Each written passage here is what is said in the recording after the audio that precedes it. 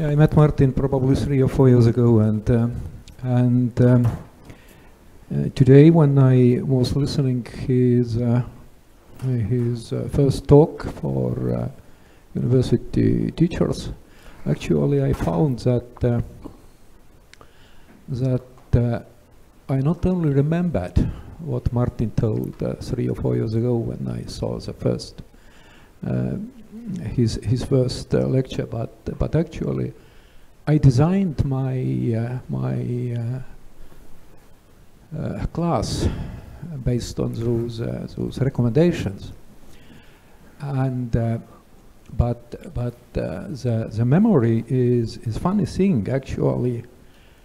Today, I remembered that actually those very simple things were from Martijn because when I designed this class, I knew that, okay, Martijn told me that kind of things are at least uh, what I got uh, from, uh, from uh, Martijn's lecture. And, and then I forgot all how I designed my, my uh, class. And today Martijn just remembered that, okay, those ideas were from, uh, from Martijn's lecture. And the ideas were very simple.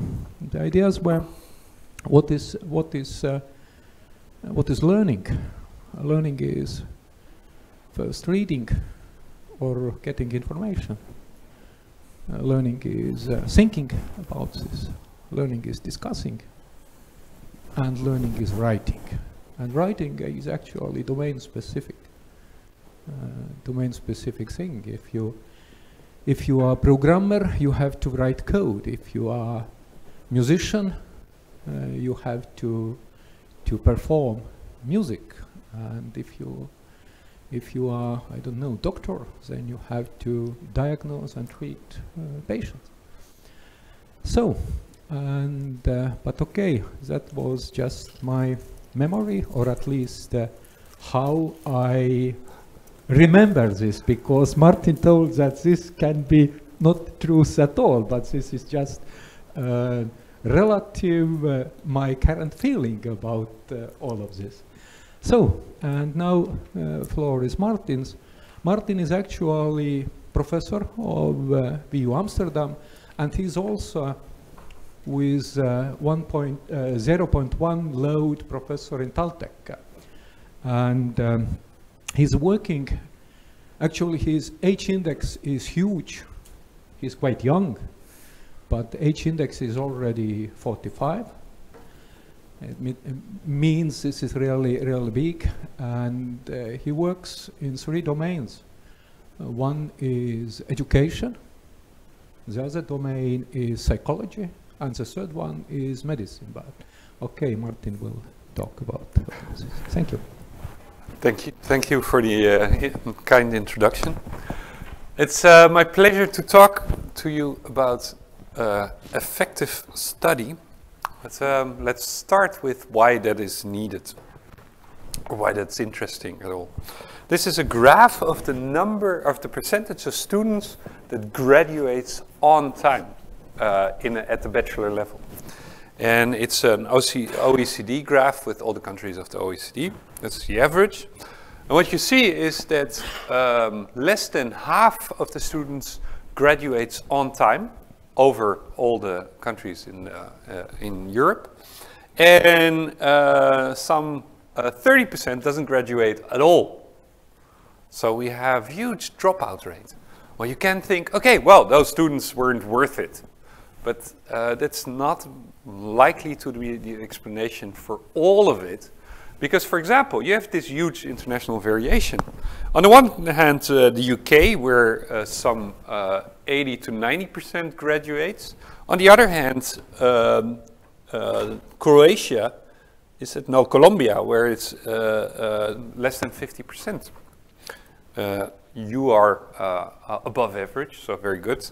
the Netherlands, my country, is below average, so not so very good. Especially our students are really slow. That's another example or uh, indication that um, uh, it's not all about ability. That um, you see in many countries that about half of the students graduates, but not on time. So they're able to finish all courses, but they're not doing it in the tempo that they want themselves and are required by the university. Third indication is uh, the difference between the dark blue and the light blue. The light blue are the female students and the dark blue are the male students. And you see that males have a competitive advantage at being slow and dropping out. Uh, I teach mostly in a program where 90% of the students are female and still the male students end up to be the majority of the problem students that we have to discuss. So, um, and well, you can think, okay, well, that Y, y chromosome makes male students stupid and therefore they fail, but that's not the cause because we know that, that it's mostly motivation of those male students that causes them to do badly. So what I'll discuss is first motivation. And then we go on to um, uh, what that means for how to study as a student, how to not procrastinate, because procrastination is a main reason for why you're slow or you drop out. And then finally, I'll discuss how to write, because this is a specific problem that many students have. Everything is fine until you have this white page or white uh, computer screen and you, there needs to be text, but you don't know what. Okay, we'll start with uh, motivation. There's a theory that is uh, uh, widely known in uh, the field of education called self-determination theory. It states that uh, students have three needs. They need to feel competent, they need to feel relation with fellow students and with teachers, and they need to feel autonomy. And that leads to intrinsic motivation, which leads to achievement. Um, fine theory, but there are many, many others. Uh, for example, uh, uh, there's a German theory, and uh, Germans uh, like Gründlichkeit, so it has lots of boxes and lots of uh, arrows, but the basis is here.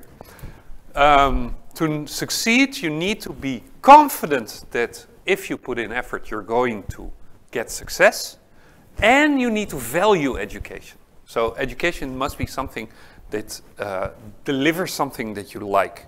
And that leads to the behavior that you need to get success, uh, which then leads to success. Well, how do you get to expectation of success and value? Well, there is uh, lots of boxes, but it starts with something called previous achievement related experiences. That's basically just a formulation of previous success. So what leads to success? Previous success. A nice circle. And if you look at the self-determination theory, you actually see the same, because what is competence? Competence, what is it based on? Well, it's based on the feeling that you, uh, it's this feeling that you succeed, and that's based on previous success. So again, you have a loop where previous success leads you to be motivated, leads you to do better. Well, we, uh, with a few colleagues, I came up with a huge model that summarizes all theories of, of motivation. This is a really complex graph, so let's build it up really slowly. You have achievement and motivation. To uh, be motivated, you need to expect success and you need to have uh, uh, uh you need to attach value to learning. Um, that are both subjective uh, uh, judgments. So you can expect success even when uh, uh, objectively you haven't done enough, nearly enough to, to succeed in a course. Uh, this is specifically a problem of one group of students. Would, would you know which one group? That uh, like overconfidence in own success?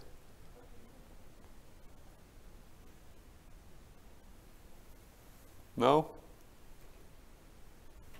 I see uh, about half of the group here consists of that, uh, that category. Male, yes, male students tend to overestimate their likelihood of success. It's one of the, the, the, the, the reasons why they drop out more. They uh, too quickly think that they will make it. Um, and, the, and you need to attach value, and that's also a subjective judgment.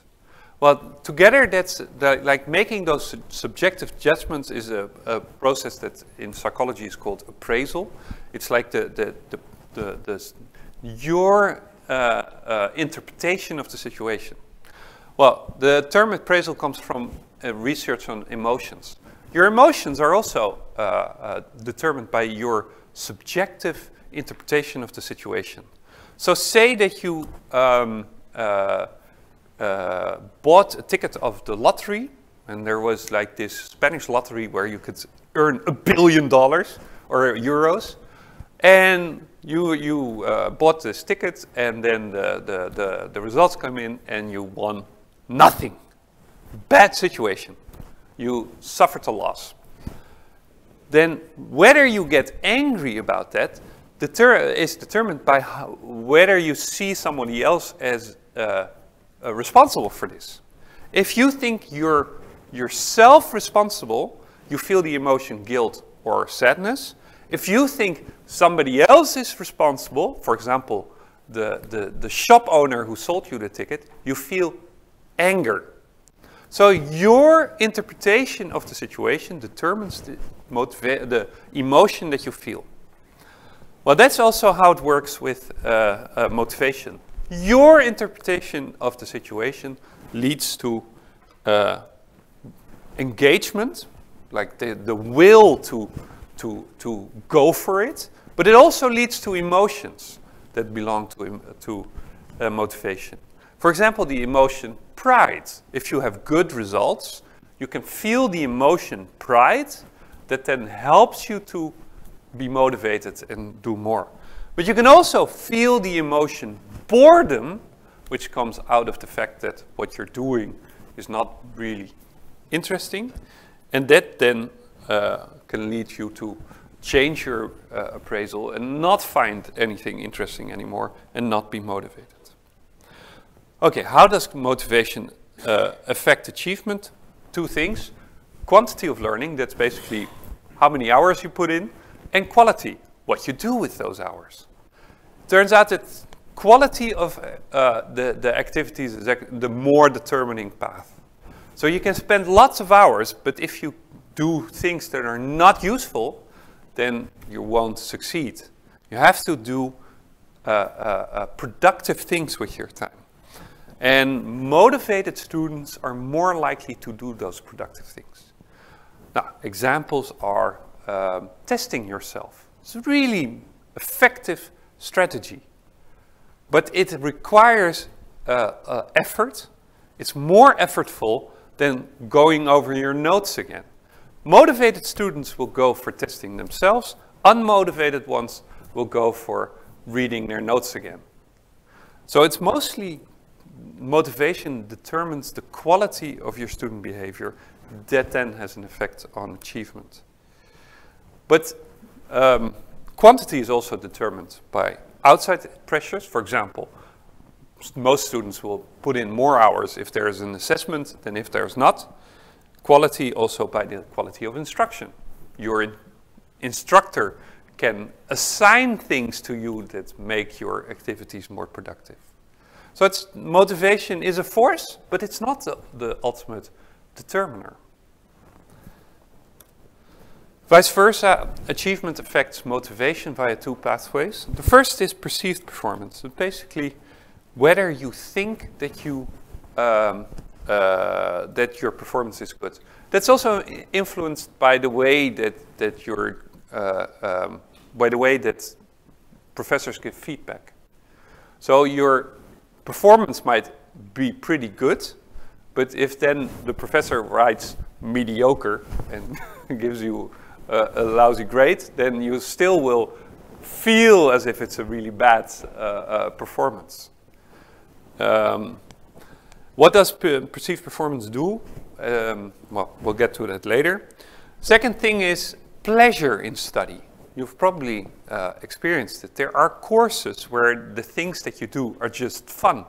It's not very hard to get, remain motivated for those courses. Pretty hard to remain motivated for courses where you don't feel fun while doing it. Well, this, uh, the, the word for, for the fun is flow, because it, it's not just fun. It's also, if, you're, if you become engrossed in an activity, it doesn't need to be fun, but if you don't feel time passing by, that's already enough for it to be motivating. If it like captures you. Okay, then I'll skip that. How does it um, uh, that play out? Uh, there was one fun uh, study that uh, looked at how these factors affect starting students, starting students in engineering in Germany.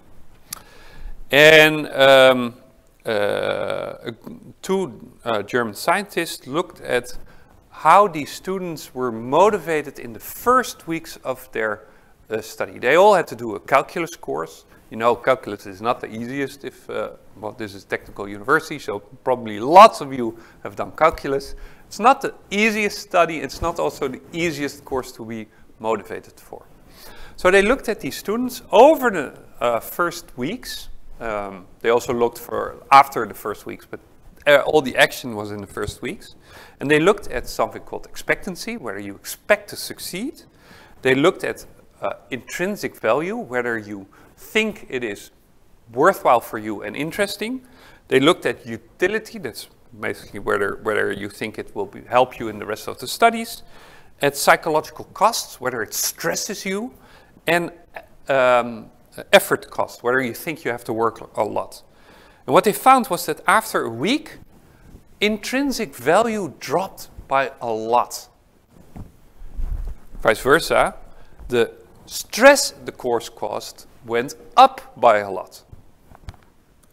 And expectant uh, um, uh, effort also went up. So, um, uh, by some mistake, half of the students um, filled out the form just after they had received uh, feedback, and half of them just before. And the students were, uh, or the, the researchers were, were really disappointed that they had made this mistake. But it was actually great because they could look at the effect of feedback on motivation. Well, it turned out that um, uh, feedback is the reason for lower expectation and higher stress. Like the fact that your first results are not what you expect, are worse than you expect, results in that your expectation for whether you will succeed in the study goes down and your stress level goes up. But the lower intrinsic motivation, the, the, the value you attach to what you're learning, turned out to be unaffected by feedback. So it doesn't matter that you get a low grade for it.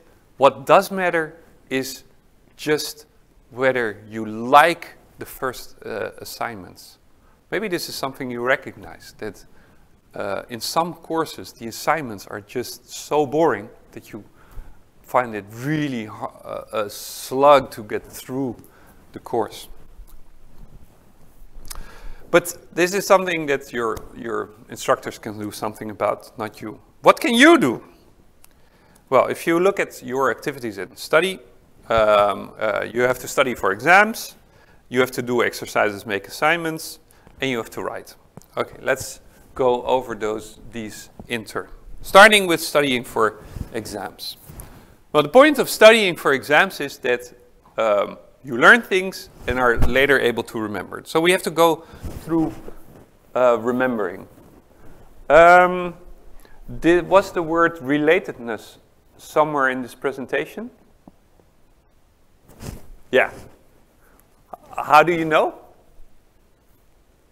Because I work in the field, so the self-determination theory is sort of... Okay, so you could uh, deduce it from, uh, yeah, from the fact that you know that, uh, yeah. The, you know, the next slides, I might not have made. Okay, yeah, yeah. Well, in general, there's two ways to get to, to such a memory. The first is called recall. And um, if you think of your memory as a big box where everything falls in, well, it sounds, sounds silly, but it's actually not that bad a metaphor, then recall is fishing in your memory and with a hook trying to get the right uh, uh, memory out. The other way to use it is called familiarity. It's basically using your memory as an echo box. So you shout in uh, a term, relatedness, and then every memory that resembles this shouts back, yes, yes, I'm here. And then uh, uh, uh, ones that resemble it a lot shout a lot, and the ones that resemble it a little, like uh, dumbness, shout, uh, well, kind of. And this is all summed up to a feeling, and that feeling is called familiarity. And that's also why you recognize things that you might not be able to remember. So you probably know the experience that you see a face and you know that you know that person, but you don't remember where it's where you know that person from. But basically, you can recognize, you get a feeling of familiarity from the face, but you have no memory that you can retrieve. Well, that's because um, recall is a pretty slow process, effortful, and it's all or none. You get some, uh, you get a memory up or you don't. And it's pretty precise. So you usually, if you get information, then it's, uh, then it's correct. Familiarity, on the other hand, is really fast. You get, uh, your brain produces this feeling almost as fast as it recognizes what you're looking at. Um, it's gradual, so you can be really familiar with something, uh, have the feeling, I know this really well, or uh, uh, uh not at all, or something in between. But it also produces errors. You can be familiar, have a feeling of familiarity for something that you don't actually know, but that resembles things that you do know. So maybe you have the feeling, oh, I know this person, I recognize this face, but it turns out you don't know the person, you know someone who looks like the person you're seeing. So feeling of familiarity can be an error. Well, that's something we'll get back to. Well, if you fish in your memory, like with recall, you need a cue. Well, what's the cue? It's basically what's active in your brain while you're searching memory. So if you want to know whether uh, it's uh, uh, relatedness, you start by looking in your brain with this word, but then you can use other things that you know about the word. For example, uh, uh, a lady who knew that it's part of a theory can use that to deduce, oh yes, I've, I've seen it. So you then uses the theory as the next cue. Um, so it's a, something you construct yourself. The difference between students that do well on exams and not well on exams partly resides in how good they are in finding cues to look in their memory. So if you have a, um, maybe you, you've had a blackout once so the feeling that you know nothing anymore. Yeah? This is, an, this is caused by stress reducing your ability to do any smart cueing. So stress narrows your attention, and by having really narrow attention, you, you stop your own ability to construct a good cue and uh, look in your memory.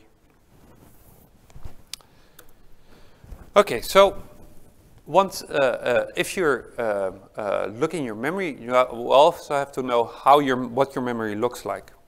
Well, there's two kinds, uh, episodic and semantic memory, but the, for studying, the important one is semantic memory. That's your memory for all your knowledge. And you can imagine uh, you, the, the, the model that psychologists use for that is a network where all concepts that are linked have connections. And um, uh, if you then activate something, for example, you see a canary and your knowledge of canaries is activated, it activates everything it's associated with it. So canary eats birdseed, well, so your memory of birdseed is activated. Canary is yellow, so, so you feel a patch of yellowness in your head. That's, by the way, literally true.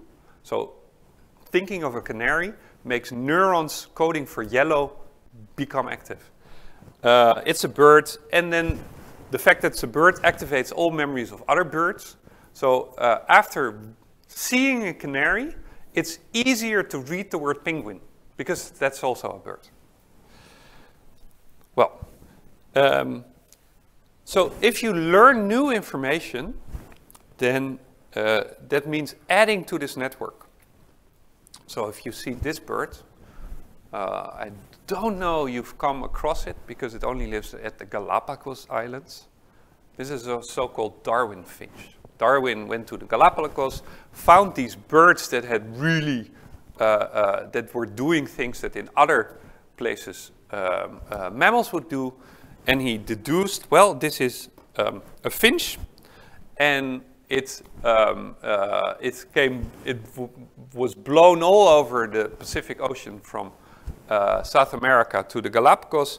And because it was on an island where there was lots of food and no competitors, it evolved in all these species that uh, could fill all the ecological niches. So this, um, uh, this, if you know this story, you already have a network of, uh, uh, of information on Darwin finches. But then the fun thing is, once you know that a canary is also a finch, then maybe you might realize that the canary is also from a set of islands. What set of islands would that be? It's already in the name. Yes, it's the Canary Islands. Yes. It's exactly the same story. It's a finch blown out of Africa onto islands where there was nothing, and so it started evolving into a different kind, namely canaries. And um, so once you know that, this is actually something I only found out when I made this slide. So now you have a connection between canary and finch that you would otherwise not have. And this is what um, you need to, to build knowledge that lasts. You need lots of connections with the knowledge you already have, because now you have lots of ways of retrieving this information.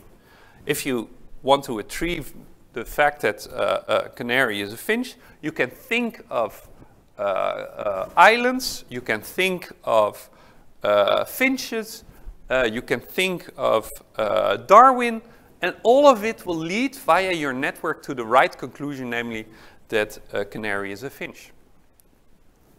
So that is, so how do you do that in, uh, uh, with your studies? Well, the point is that you have to elaborate. That's, a, that's if you get new information, you have to think of all the things it makes you think of. Uh, you can do that on your own. There's tips on internet on, on how to to get yourself to do that. But uh, uh, a few standard ways are self-explanation.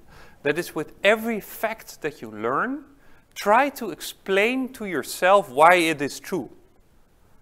Well, your explanation might be wrong, doesn't matter, but the trying to think of why it is true helps you uh, uh, uh, uh, uh link the from new information to your old network.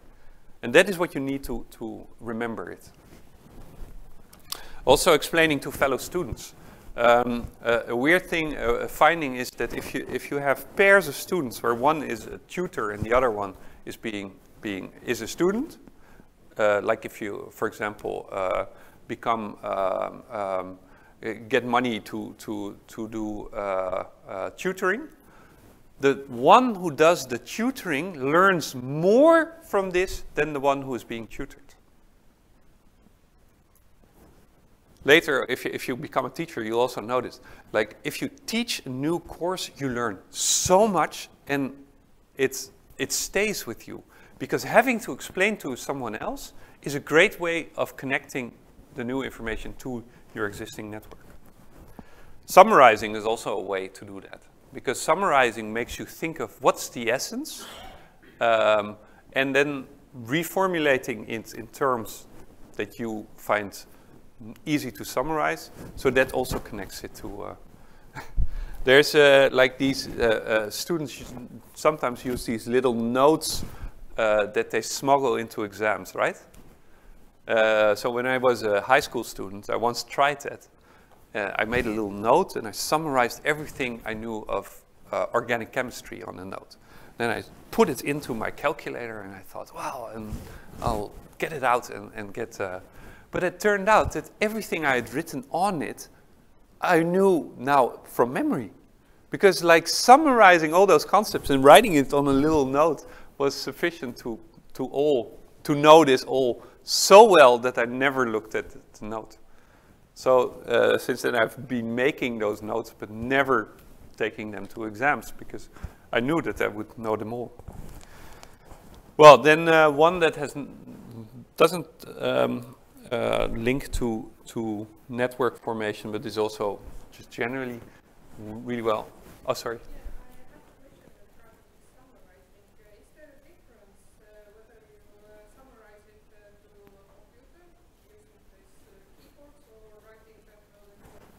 With your, with your hands. So the question um, is, uh, does it matter whether you summarize on a computer or summarize by handwriting? No, uh, there was one theory, one experiment that seemed to show that it mattered, but it turned out that that was a fluke and that was just a, a mistake. Uh, what matters is whether you use your own words or whether you copy words from text. So summarize, like many, many textbooks now end chapters with a summary. Rewriting those summaries doesn't do anything good. So you have to formulate the summary yourself. That's the important thing. And this reformulating in your own words, that's the process that makes it memorable. And you automatically do that if you write on a note, because like uh, the note has little space, and it's annoying to write by hand, so you tend to be short. But if you do it on a computer, many just type and type and type and type, and then it stops working because you'll, you'll type so many words that, that you don't do any thinking anymore. So that's the, the, the, the big difference, whether you think about making, reformulating in your own words or not. Okay, the other process that you have to do is testing yourself. So um, the, the retrieving from memory is something you, you, you, that improves by, um, uh, by practice. So you have to practice retrieving, and you do that by testing yourself. So um, if you, uh, uh, uh, uh, there have been experiments with how much, how, what, what is the good um, um, proportion of time spent testing yourself versus studying. And you can go up to half of the time spent in testing yourself and still do better than uh, you would if you uh, uh, spend less time uh, testing yourself. Testing yourself is a really efficient way of learning. Okay, so that's the, the, the what. Now, the when. So if you know what you should do as studying activities, you don't know, still may have difficulty getting yourself to do it. This is the, the process called procrastination, where you constantly think, okay, later is a better moment, uh, not now, uh, I don't feel like it, um, etc. The um, recent research has shown that the, the problem uh, resides in the illusion that there is a later, better time. There's not. You're now tired, you now have a hangover, but in one week you're still, you're again going to be tired and have a hangover. So it, it, there's no sense in, in uh, uh, delaying. But people have this uh, illusion, and uh, it's especially strong in some people, and those people are the ones that are most likely to procrastinate. So uh, an effective strategy against procrastination is to concretely imagine how you will feel next week, the same time when now you think you will be great and study like uh, uh, hell. Or tomorrow, you think, well, I'll do it tomorrow. Imagine yourself tomorrow, how you will then feel. Well, if you're a realist, then you'll probably realize that tomorrow you'll feel the same way. You'll still not like it. You'll still think that you're tired and, and cannot concentrate. So that is already a way to stop this. Well, there's always the, the idea that you have to make realistic plans. Um, if you if you plan to spend the whole day and night studying, this is such a mountain of work, such a horrible idea that like it's easy to think, okay, okay, not now. This, now I cannot do this.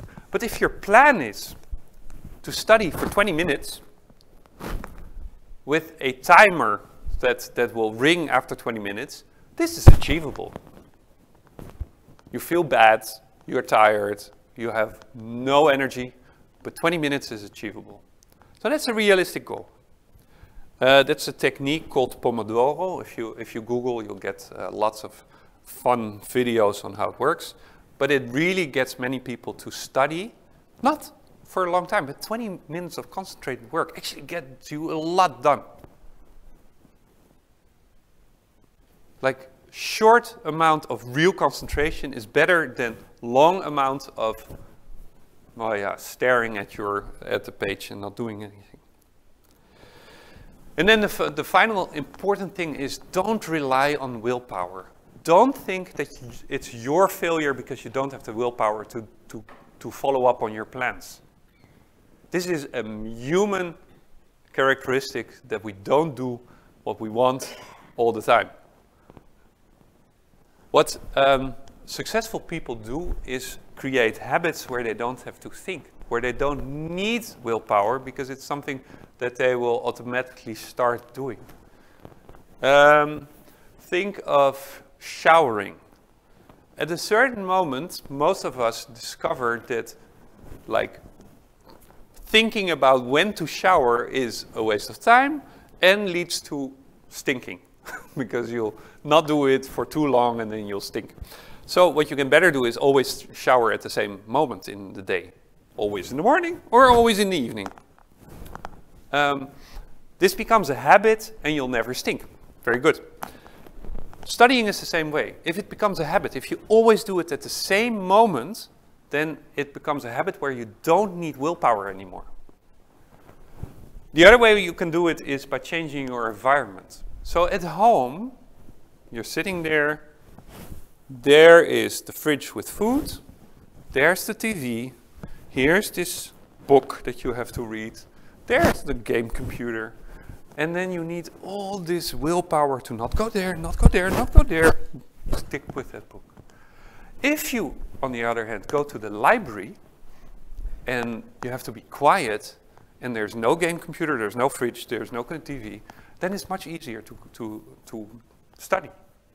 So changing your environment is often a better way to get yourself to do something than uh, uh, relying on willpower. And if you look at successful people, this is actually what they usually do. Uh, they, they change the environment to, to get what they need. So for, this is also true, for example, of dieting. Um, so um, uh, I'm actually horrible with food. If there's like chocolate, I will eat it. So the only way to not become like this is for no chocolate to be in my neighborhood. And that's, yeah, I learned that and now I do that and that works. Yeah. So um, Um, okay. Now, then how to write. This is uh, a big challenge for lots of us. So if you look at the writing process, um, what you're actually supposed to do is um, uh, do planning, then draft, then revise until you get a good draft. What we are often, uh, uh, uh oh, I wanted to start with the uh, assignments. Uh, the planning is also something that really plays in assignments. I cannot, for the rest, tell much about assignments because what you should do with assignments depends on your field. It's all different for different assignments. The one uh, um, trap there is is something called goal neglect. Is that you start working, but soon forget what actually the purpose is, and so start doing something that's not the assignment. Uh, planning helps because it, it forces you to think about how, what, the, what the end result is. So um, uh, you should not think of a plan as something you could, should stick with. It's more like a route that will get you to the right goal and a way to get to, to make sure that, that your activities go towards that goal. Well, that also works for writing. Uh, goal neglect is also some problem in writing. For example, that you forget what the target audience is and just start writing as if it's your diary. Um, but then you're, you, you, you, once you start, you, you have this curse of the white page. So this first sentence that you have to put on paper or on your computer. And uh, many people cannot write that first sentence for a very long time because they have the feeling that this first sentence should be perfect. Should be, for example, a fun and good way to introduce a topic. Many people start with the top, that's, that's actually not a bad strategy to just start at the beginning of a paper. But um, uh, what you should not do is wait for the inspiration for a perfect first sentence. So the what um, the the the uh, advised strategy is to think of your first sentences as garbage that you will throw away, but that will get you going. So you just start somewhere. You start typing, typing, typing, typing, and to get over your internal critic that stops you from writing, you think, okay, well, those first sentences I'll change anyway. It's just the first start. Okay, fine. But then you get into the problem of editing yourself. So if, if you have this strategy, you should be then able to uh, improve on your first draft. That's not that easy. Like very first uh, short experiment, read this text and find the two mistakes.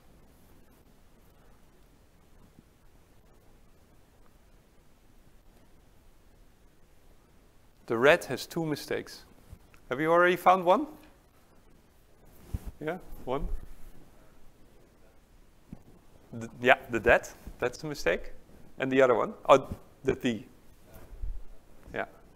Has, has everybody found the, both the mistakes? Okay, there's two times the, we tend to overlook that. Uh, and uh, the you that read should have been you read that. Um, we, we did experiments with, uh, with such sentences and found out that this was the one that tricks most people. so don't feel bad if you, if you didn't see it immediately. Um, the, this is already hard, but your own text is even harder, and that has a very simple reason. While you read your own text, you remember your um, what you thought while reading it, you, so writing it. So you remember what you wanted to say, and that means that if you read your own text, you remember what you want, and not what, and you don't notice that the text that's there doesn't do a very good job of uh, uh, conveying what you wanted to convey. So what are the, the, the ways out? Um, first, peer review. Uh, that's getting somebody else to read your text. Well, the bad way to do peer review is for that person to suggest other formulations. First, it's annoying. It's annoying that somebody else corrects your text. The Second, there's no guarantee that it will get any better because that other person is probably a fellow student who is just a bad writer as you are. So that doesn't help. What does help is if that other person reports back what they understood of your text and uh, which parts they found hard to follow and which parts easy. And that helps you to, to, to see that some parts of your text are just incomprehensible or convey totally something else than what you wanted to convey. So that's what you can use peer review to, for. Um, you yourself become a peer reviewer if you let the text lie for a while. So if you read something that you wrote three days ago, then you have some distance and you can read it as a reader instead of as the writer. And then it suddenly strikes you that some formulations don't work or that, uh, that a sentence seems to, the, that the causality turns around, that what you th think of as the cause in the sentence looks like the effect, and things like that. So uh, this is the, the, the, good way to, to write. You start long in advance, first produce sentence that you think of yourself as crap be because it gets you going, and then you, you revise, but you do it after a while, not immediately, because immediately you'll have this problem that you will not recognize your own mistakes. Okay, so a bit later than I hoped, we get to the conclusions, you have to grow your network. There are ways to do that that basically come down to thinking a lot about the material. You have to train yourself in retrieving you have to make sure that you uh, don't get stuck procrastinating by getting habits and uh, um, uh, um, uh, changing your environment and uh, do a lot of revising while you uh, do writing assignments. Okay, that's it.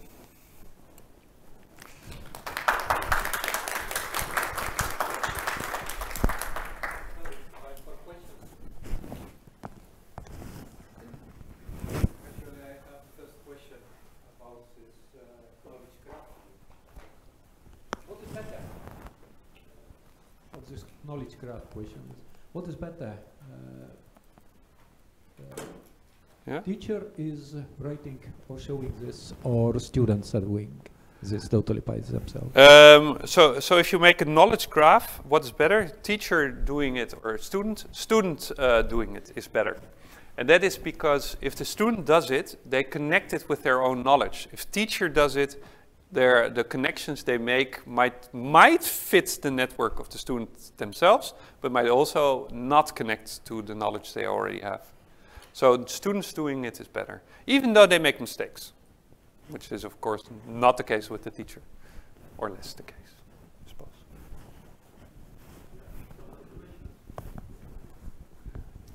Thank you, Martijn. Uh, as a student, I really like lectures. But as a student, I understand that uh, after uh, two hours, I uh, actually don't remember anything. So uh, how it's still possible that uh, us as students are participating in lectures and yeah. how, how it's so hard to persuade teachers that it's not effective uh, yeah. to just talk and yeah. let us to uh, listen? Yeah, yeah, it's uh, that's a very good question. First, uh, the, the, the first part is uh, why do students like lectures? Has been investigated. Um, that's um, also another illusion that if if you spend less effort, you think you're learning more because it's there is no resistance. It feels as if you're smoothly uh, going along. But actually learning is when there's lots of effort. The more effort, more usually the more learning. Uh, so um, the activity where, there, where, where you're just passively sitting back and enjoying the lecture is feels like you're learning a lot because it feels smooth, though actually you're not learning very much. The one where you're very active, uh, for example, making assignments, feels like a slug, you're not getting a lot ahead, uh, uh, it's difficult, so probably you're not learning. Actually, you are learning. That's the, how the, from the perspective of the student. From the perspective of the teacher, probably the, the, uh, the reason why many teachers feel that lectures are good is that they, uh, that they feel there is no mistake of the student. So that, that if they explain it, uh, then the material will get through in the correct way. If the student has to do things themselves, they will make mistakes and therefore learn something wrong. And there is truth to this. So, um, for example, there, there is something called discovery learning, where you have students discover the principles of physics or chemistry or whatever. Students make mistakes and they do it a lot and they don't learn from the mistakes and therefore such ways of teaching often lead to, to worse results. So you have to uh, uh, engineer activities that, where students do things themselves, but most of the time get to the good result. That's pretty hard. So that's, that's uh, a difficulty from the teacher perspective. And also, um, uh, uh, short lectures work. So, the, um, uh, for example, a uh, working group where uh, students do something, then there's 15 minutes of explanation, then they continue working, is actually a really good way to teach The problem with the lecture is that it's one and a half hours, and students don't concentrate for one and a half hours. So it's it's like the the the there is there are good reasons to prefer lectures, but they shouldn't result in this monologue of one and a half hours that they often result in. Yeah.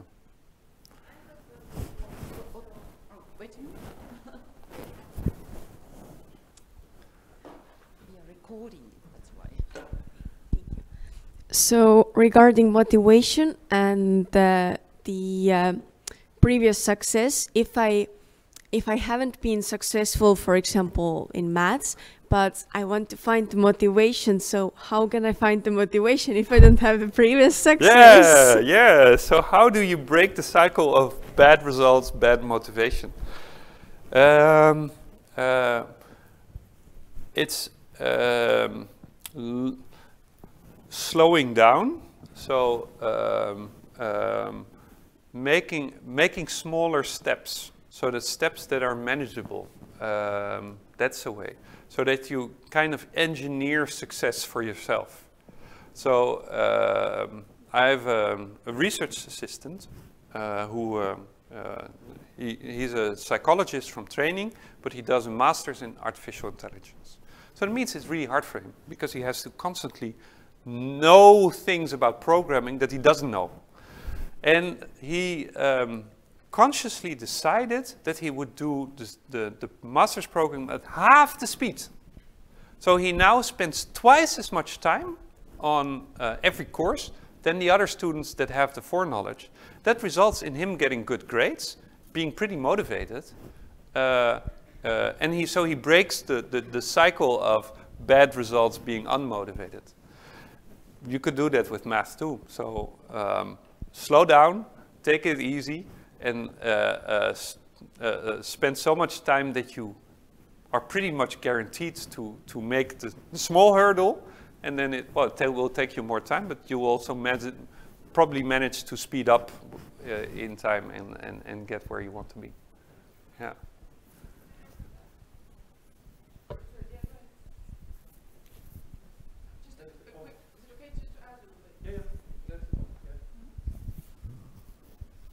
Thanks. One of the sort of things with um, that that Deci and Ryan's um, model uh, for uh, motivation doesn't bring out, but uh, Daniel Pink's, for example, does. And and for Deci and Ryan, it is hidden in there, which is sort of purpose, why we're doing things, and and that comes to with sort of that level of success. That is success only when your teacher tells you that you did good, when you when you get that A or five or whatever, you know, that good grade, or is it that hey, I stuck with it for half an hour like setting that for yourself, that sense of success. Okay, I, it's okay if I fail. Sometimes I can sort of agree that okay, I, I can fail that course, but this like level of success for me is that I actually stuck with it. I didn't give up, or I did those 30 minutes, or then you know later on three hours, or, or whatever. So that could be a, just a little sort of trick for because for me in math, I, I can relate a lot. All right, do we have a question? Yeah.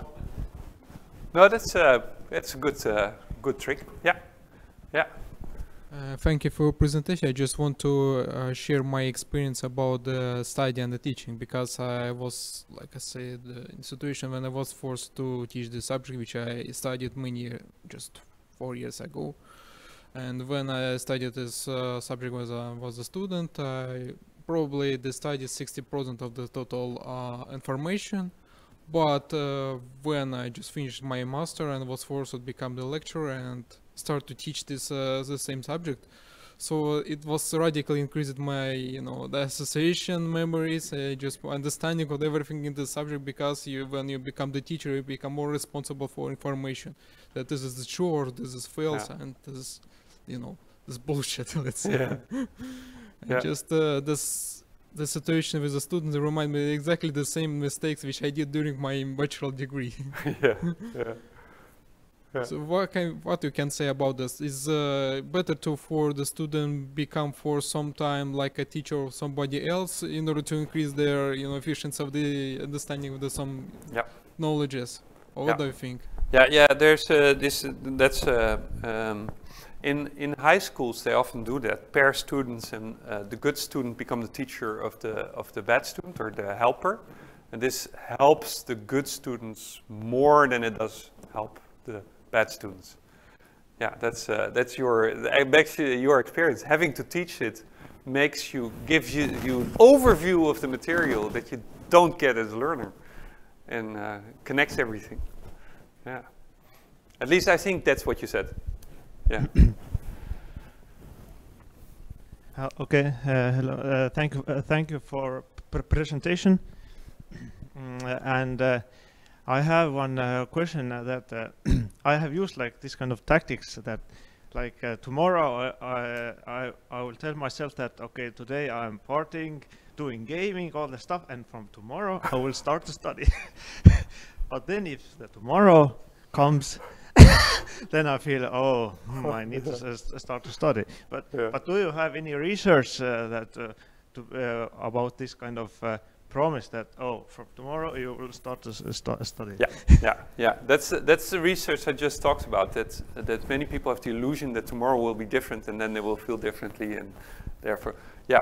And then, yeah, the, the, the solution is smaller smaller goals for today that you can keep, and then uh, uh, so that you start today and not. Uh, even though that's uh, it's not the ideal day, but it's never the ideal day. Yeah.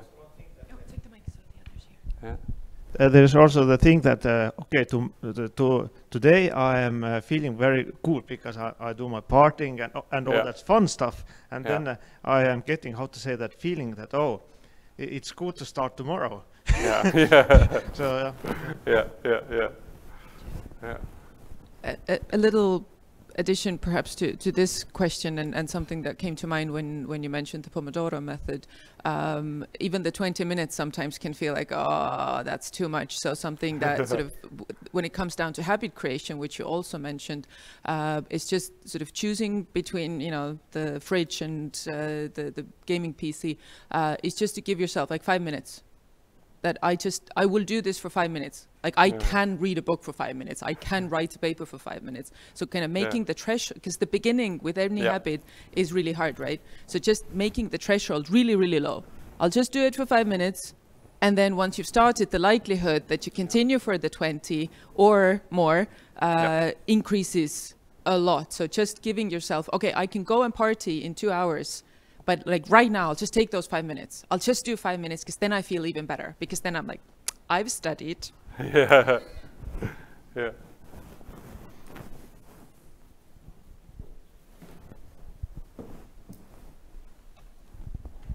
I have a bit uh, different strategy. I leave uh, books and materials everywhere. then I go uh, to kitchen to cook uh, dinner for my family. I have something there because sometimes I have to wait for five minutes uh, the pasta to Yeah. cook uh, and then I open and later uh, Yeah. I uh, uh, will carry on because um, I'm already interested and Yeah. sometimes I leave stuff in the bathroom and in my bedroom and everywhere. yeah, yeah, it's also a good strategy. Yeah.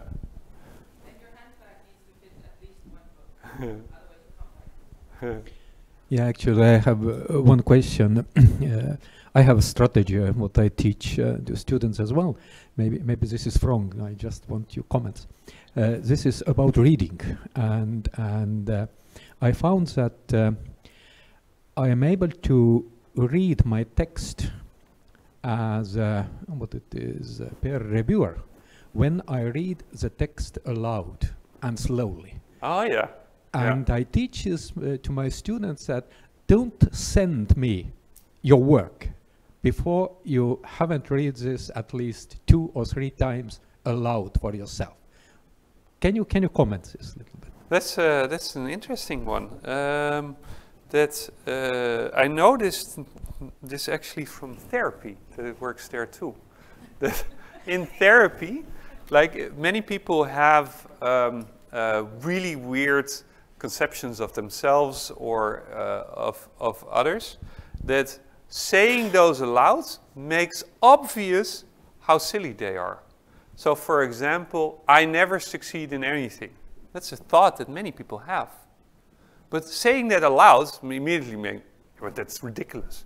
I succeeded in coming here. so, but uh, and so probably it also works with uh, with your own text. Yeah, it's actually a good one. It's it's the, it's the it's the matter of uh, verbalization Yeah. that you get it out. Yeah. That you uh, that it's it's not inside you anymore. That you just uh, like it's uh, it's out there and uh, and you if you listen yourself, then you will you, then you get get the chance to find these weak points or it doesn't Yeah. sound right or something Yeah. like this. Yeah, yeah, or or the the simple fact that many students produce sentences that don't that are ungrammatical. Once they read it, they hear it. Yeah. Sorry, last question. last question, sorry. uh, n- uh, how, uh, uh, however we plan uh, life happens, usually you have like uh, eight, uh, 800 uh, pages and you have only 24 hours. Uh, what's the best uh, suggestion uh, how to uh, pass the exam? Whoa, that's a good one. So, um, the the the, the um, uh, most modern textbooks have summaries, and so the the the best uh, time to spend is first look at the, the the contents, so that you know already what's all in there, and that you uh, um are not surprised by the content, and to read summaries at the end. Um, uh, and then focus on the parts that you don't understand. So the, um, uh, kind of like you read summaries, you, you make a note on, oh, I have no idea what this means, then you go read that section. So if you're really cramped for time, that's uh, the most efficient. Yeah. Just a minute, please.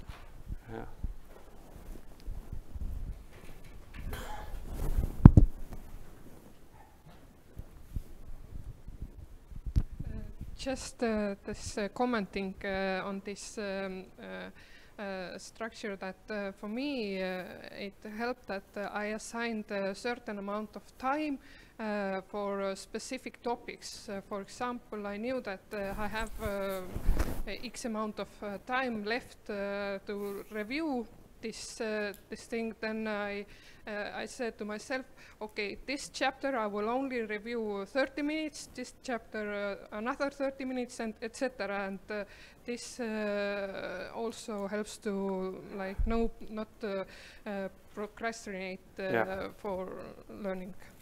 Okay, yeah, that's also a good strategy. Yeah. There's one question there on top. Uh, I, I have like a cultural question, I would say. So usually, like you talk about like purpose-led learning. You want to have like good purpose so you can have more effective learning. But what happens with like younger people today, or even just people in different stages in life, whether you're like working part-time while studying, is that you have like a lot of these unprocessed feelings before you can actually like get your headspace into the right mindset for effective learning. So there are Yeah. like a few constraints in this place, whereby in Estonia, like the Soviet legacy and poor urban planning means that there's like a lot of like lack of like third places. So there's like no um, space. There's like a lot of space, but no places for people to meet organically. And then for like additional backgrounds that I study in IT, and not not only um, like I, I'm like an older student, so it's like bachelor's like students are younger, and also a lot of my, my classmates are on the spectrum. So given these constraints, how do you like foster like a culture whereby people can actually help each other? Right, because like I, I talk to like a, a, a, a lot of time. I don't think it's just like you know foreign students face this problem. I think my, my local classmates like face Yeah. this problem whereby you know you have like so many things that you're working on, but then it's like how do you actually like support each other to like you know reach this stage of like purpose-led learning? Yeah, yeah, yeah. Pooh, that's uh, that's a hard one. So, uh, um, uh, we know that community is really important, uh, and then indeed, um, if you're if you're a working student, then getting to know your classmates is uh, is hard. And then, yeah, uh, what what's often advised is try to find students that are in the same situation like you.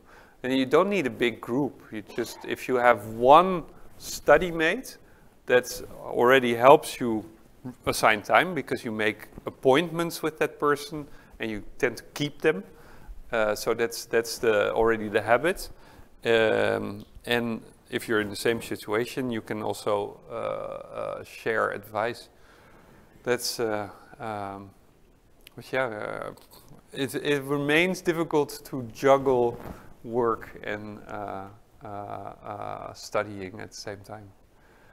There's also the advice that I know that uh, uh, like uh, counselors often give is not to be too ambitious because starting two courses that you, while you only have time for one, usually leads to both failing instead of one succeeding. So if you have are, are, uh, don't have much time, then uh, uh, um, uh, prioritizing a bunch or, or material that you can master and not do the rest, and so slowing down is probably more effective than trying to do everything. Okay, I have a question about uh, rewarding rewarding myself. Uh, I had uh, three days to study. The first day I studied the whole day, and after the, that day I uh, had some fun. The second day I studied the whole day, but I didn't have any fun. And the third day I couldn't concentrate. yeah, yeah, yeah, yeah. That's also. Um, I I don't know if I actually put it on there, but uh, it's generally. Huh? Where I am I? Oh, go. Oh, there. Uh, did I put it on there? Um, there is indeed the. I, I could have put it on there. A way to get yourself not to procrastinate is indeed to have uh, um, um, to to give yourself rewards in the form of permission to do something fun or to eat something uh, uh, good. So your first day of combining study with fun is probably better than your second day. But that's your the I, I suppose that's the conclusion you drew yourself to. yeah. Yeah. So, thank you. Yeah. Thank you for the good questions.